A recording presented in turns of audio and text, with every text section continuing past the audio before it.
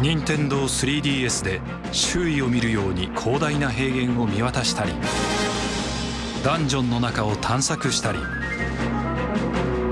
パチンコや弓矢で狙いを定めるのも直感的に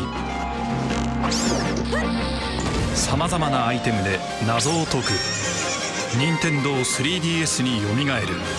「ゼルダの伝説時のオカリナ 3D」